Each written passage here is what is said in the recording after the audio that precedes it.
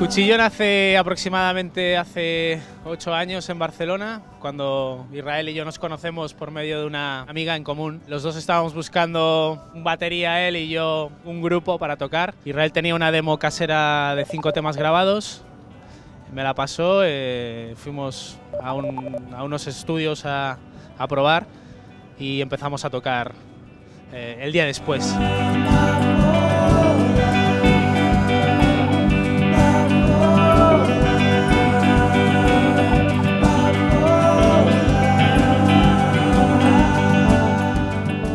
Manejar sobre todo un sonido muy crudo basado en la batería, la guitarra y la voz y darle mucho peso a, las, melodías, a las armonías y, jugar mucho con el silencio también y la intensidad, la dinámica. Cuando entró Henrik abrimos un poquito más la paleta de colores, digamos, de sonidos con teclados y, prescindiendo un poco de, los loops, pero manteniendo un poco esa esencia de, de ir a un poco a la raíz de la canción.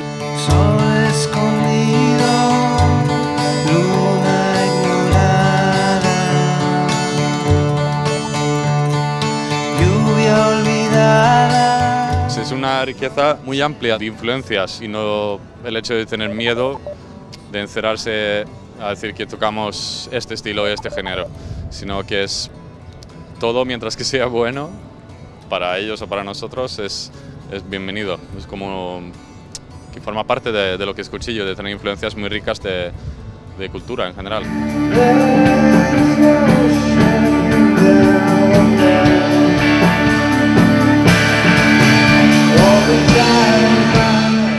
Camino nuestro ha sido sobre todo basado en la ilusión y, y la energía que tenemos para hacer música y eso lo seguimos manteniendo hoy. Entonces al final nosotros nos guiamos por nuestro instinto y por las ganas de hacer las cosas y, y ir allá donde, donde realmente sentimos que quieren escucharnos.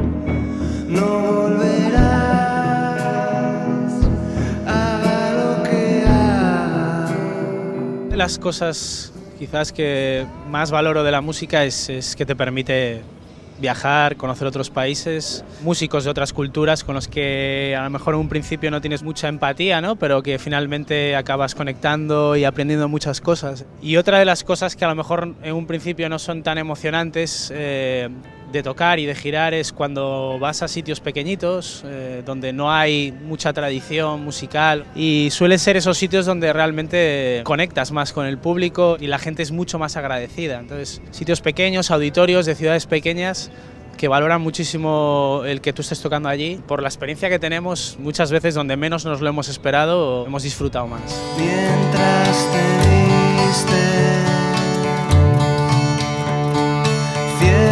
la puerta y una vez más. Pues el plan que tenemos, no sé, es seguir tocando cada vez más y que no nos importa realmente si, si las condiciones es en un festival muy grande que nos invita, que obviamente es muy divertido, pero también seguir haciendo giras por nuestra parte y, y mantener contactos y, y siempre seguir apretando la maquinaria.